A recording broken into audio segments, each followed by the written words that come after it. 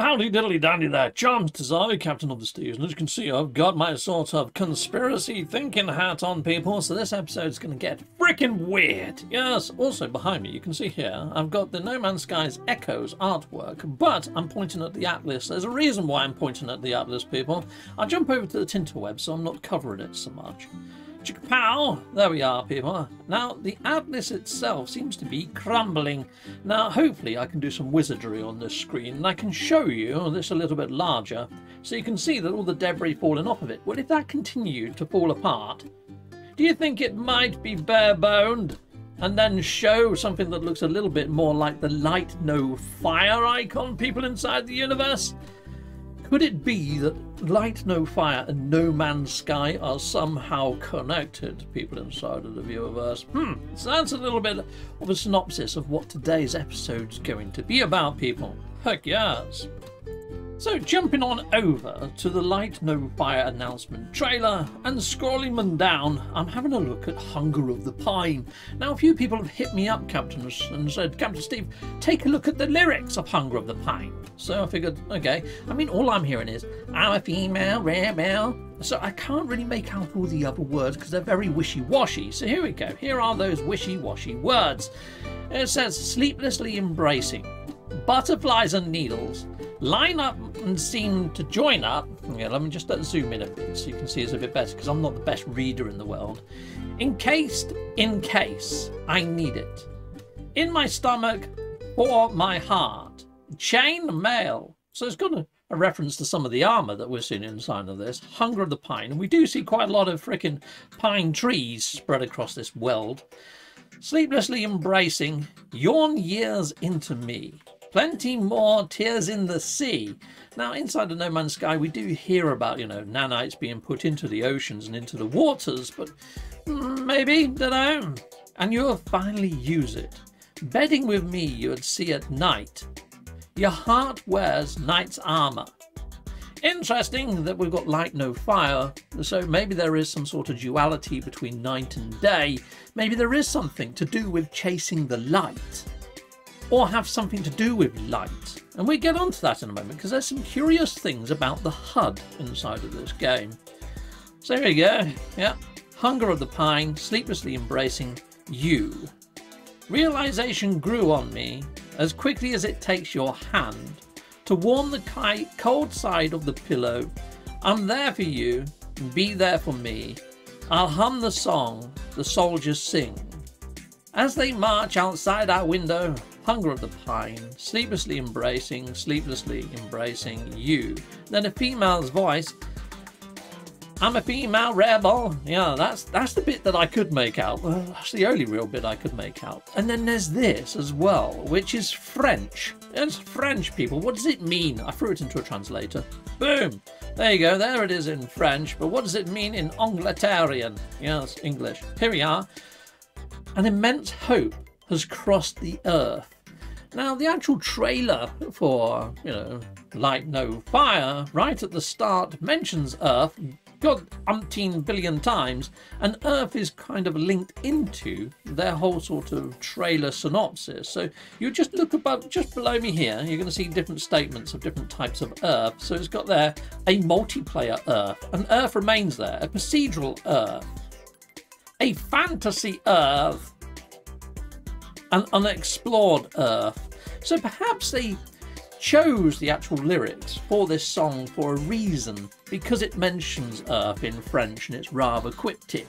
So maybe there is an ARG actually taking place inside of this video footage. People inside the viewerverse, perhaps, perhaps there is. And I think it has got something to do with this end sort of note here, where it ends on this, which could be perceived as being some sort of torch. It almost looks like the Olympic torch sign that we see whenever we're running the Olympic flame to light the Olympics to start it, or at least it's got that sort of vision to it. So perhaps having torchlight has got something to do with this game as well. And as you go through the trailer, there are some curious scenes Now, down in the bottom left hand corner down here, you do actually see some sort of time of day sort of indicator. Or at least I thought it was a time of day indicator until some eagle eyed chappies out there inside of the viewerverse, because there was a couple of people said that when it transitions from underwater to above water, you see that yellow arc next to the sort of sun image move rather rapidly. Now, you see that? It just jumped massively. Why did it do that? Are we trying to find the source of light inside of this world? Have we got to traverse there and make our way there? Maybe that's how we narrow down to where we're supposed to be on the planet to find rhyme or reason to our existence. I don't know. I mean, that was the whole aim of No Man's Sky, wasn't it? To get to the center of the universe. Maybe we've got to get to the center of the planet or to the point in this planet where you're going to get answers to this planet or something. Who fricking knows, people inside the viewerverse? But I do think there might be something to it. Hence the title, Light No Fire. Has the natural name of the game It has got more than just namesake? Has it got more to do with the objective of the game? We can only but know in time when Hello Games come back with more information, but we know how cryptic they fricking are. Yeah, so who fricking knows, people? Anyway, we've got all that. We've done all this. Now, I did make a video some time ago on whether I thought there might be clues inside of No Man's Sky already that might sort of allude to what the next project is that Hello Games is working on. And I, I rewatched this and it actually gave me goosebumps. I was like, oh my god, how close was I to actually predicting this stuff? Anyways, it's only a five minute video, and this video so far has only been five minutes, so I'm going to slap them together to make a little bit of a 10 minute sort of roustabouty video. So let me just skip the intro and I'll get you to the juicy bits. Okay, well here we are people. I'm just going to adjust the volumes, make sure that it's in the highest qualities possible for you there. Heck yes, make that a bit larger on the old screen. You know what, I'm going to take me off the screen so you haven't got double inception of me. I'm just going to hit play. Here you go, enjoy. Well, how do there, chums? Tis I, Captain Steve, and today, chums, I have a speculation video, but not really necessarily about No Man's Sky, but what Hello Games might be working on as their new ambitious title of Inside of the Verse, people. So hopefully you guys in the viewerverse are quite accustomed to these terminals that you sometimes find behind Atlas Pass free doors which give you a little snippet of lore called the Remembrance Lore. Yeah, and inside of this remembrance lore, there's a few sort of odd suggestions where the sort of iteration breaches the third wall. So, what I mean by that is it's actually the developer of the Atlas, the person that created the simulation, interfacing with the Atlas to tell the Atlas that they're now embarking on a new simulation and taking all the work that they knew from the Atlas and putting it into their new simulation that they're building. So I've been talking to good old Scottish Rod, and he seems to think around the same sort of lines as myself. We were just bouncing ideas off of one another, and sort of in agreement that this could be what is happening. I mean, Hello Games are working on this procedural engine, and No Man's Sky was their testbed of said procedural engine, which they've built from the ground up. So it doesn't seem to me, or to him, Scottish Rod, that they would abandon this sort of simulation idea or the procedural engine that they've built up so nicely during No Man's Sky. And even though Sean of the Murrays himself has said this is not we're not making a sequel to No Man's Sky 2. It's something that's equally as ambitious, if not more so ambitious than No Man's Sky. I mean, this is coming from the same chap who actually told people in interviews that in No Man's Sky, when you get to the centre of the universe to get all your questions answered, it's not going to be a simple case that you get pulled back to the start and have to start all over again. He said that. And yet, what happened? so, I don't know. I don't know. So, my feeling is that they've dropped subtle hints into the actual game lore to hint what their new project is. I mean, that would be freaking genius if they have. And if they haven't, it's a missed opportunity. But you know what I mean? It does make you wonder. When you're reading this text below me right now, read it and, and see if you think that there might be some subtle hints there about what might be happening with Hello Games. Now, I have done another video around about what my speculation might be around what the new title may look like Yes, because if you look up some of the artists that work at Hello Games, including Beau Lamb being the main key person and individual that shares his artwork out there on ArtStation, I put a video in the top right hand corner so you can go hit that up to have a look at some of his most recent of doodles, because it almost looks like Skyrim in space. It's like a fantasy RPG based in space. So, you know, you've got swords or giant axe type wielding things and hammers, but in a spacey sort of universe, and you can traverse in ships.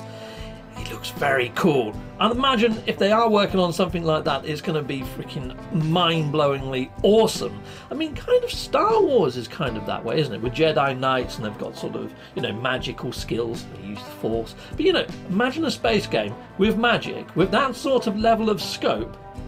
Ah, oh, that'd be freaking magical. Anyway, hit up that video that I put in the top right hand corner if you haven't already, and uh, give that a watch. But yeah, I am thinking, and also when I've been speaking to others, not just Scottish Rod, but other people that I play online with or have like little party chats with, or some of my super members, I'm sort of saying, well, it would be weird if they completely abandoned the whole procedural engine, or even the idea or premise of No Man's Sky, now that it's been built up so well.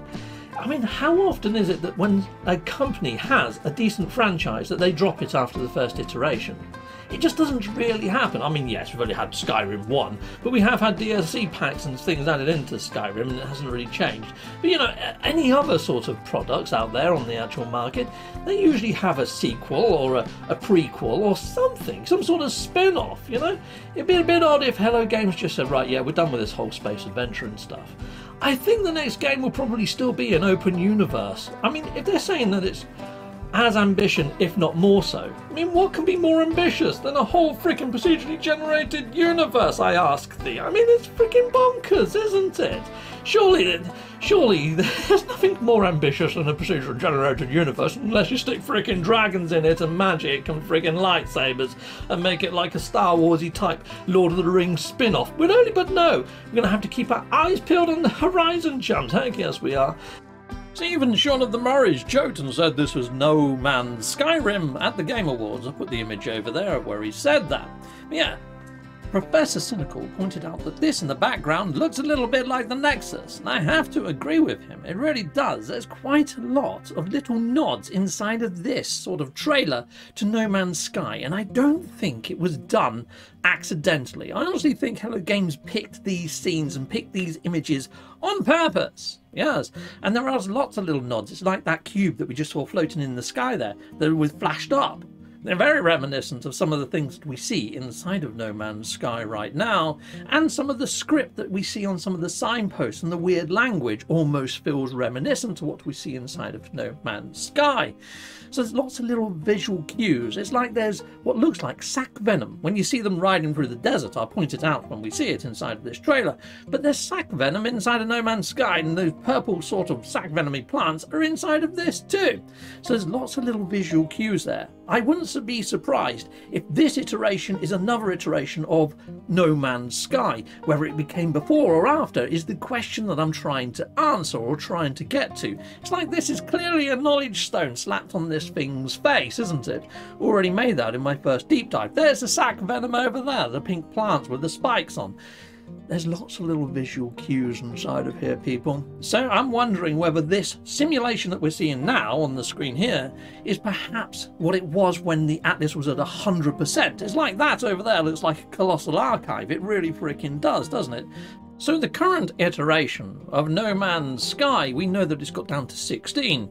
So this might have been the perfect weld before it started to degrade and now we're at 16 seconds remaining. Because although this would be 100%, it would actually be the long distance past. As you know, right now, when it's 16 minutes remaining, we've got infinite amount of time where it feels that way as a player because we experience time different to the Atlas. But the Atlas is in panic mode, it's got 16 minutes remaining. So it does make you wonder whether this is the original iteration, or inside of the No Man's Sky Remembrance lore that I played earlier, the actual devs speak to the Atlas and say, look, you know, you're dying, you're shutting down, we're going to move on, we're going to take everything we've learned from this simulation and make a brand new simulation, a more perfect world. Well, maybe this is that more perfect world or more perfect universe. Now, curiously enough, Sean Murray actually said, What's more ambitious than a massive, great big universe? It's a planet with a universe level of detail placed upon it, which is this, which is kind of what I was speculating on all that time ago. I know I said that we're still traversing spaceships, but that's only because Beau Lamb on his art station has put in some lovely spaceships that look like robotic birds and stuff, which is freaking epic. Really nice artwork, Beau Lamb, but it did throw me a little bit of a spanner to my works on my speculation. I don't think I was too far wrong, people inside the viewerverse. So speculation. There we go. Shouldn't really say there's expectations, but sometimes, you know, it's quite near the mark, isn't it? Let's face it, when you go by logic and bits and bobs that you're fed inside of the verse. Anyway, people, that's all I've got for the Interviewerverse. Thank you very much for watching and listen to me rabbit on into a massive pile of crazy. Till next time, goodbye, goodbye. And goodbye again, people.